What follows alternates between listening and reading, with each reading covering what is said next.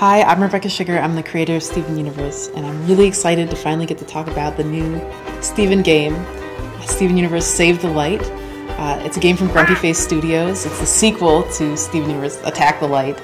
Uh, and Grumpyface has been working on it for a while. I've been working with them pretty closely on this game, and I'm really excited to show you an exclusive sneak peek of it.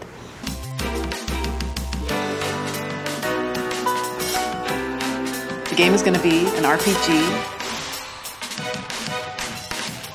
Uh, it has eight playable characters this time. And I got to work really closely with them on the story, so I'm really excited about how it's coming together.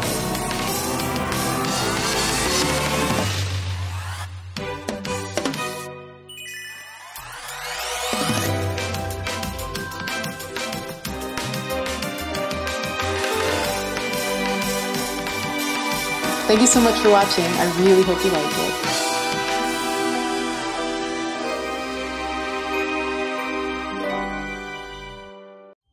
Want more Steven Universe videos? Well, you're in luck. There's a whole universe before you. Just subscribe now to keep watching.